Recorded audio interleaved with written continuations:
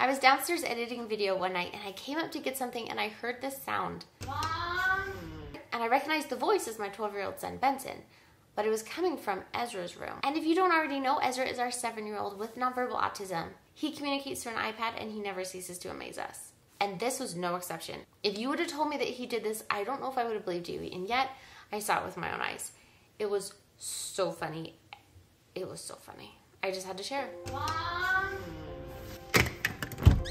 What? Oh my gosh. Talk me in here with this. Oh my gosh. I can't stop it from inside. You were supposed to watch your little brother, and he's watching you. Where is he? He, he's in there. Oh, he's inside here? Yeah, can you frame me, please? Ezra!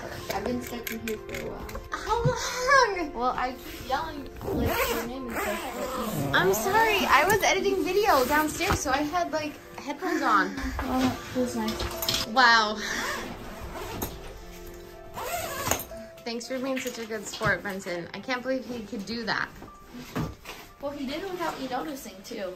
Because normally I notice and stop him, but this time. Oh, this so this happens a lot. Like him trying to do this uh, to you. Try, yeah. But this time was the only time. And he wait, he put himself in here and then he zipped himself up. Yeah. Wait, no, I don't know if he's. Doing... Yeah, he did. He zipped himself up because there's like no opening.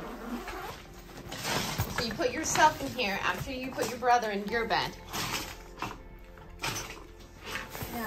He meant it mean. I think he just meant like this is what you're supposed to do. You're supposed to be in a bed zipped up.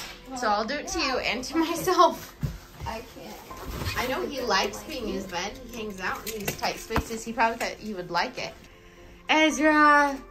Ezra! If you want to see more of our unique normal, another mini vlog is here and our autism playlist is here.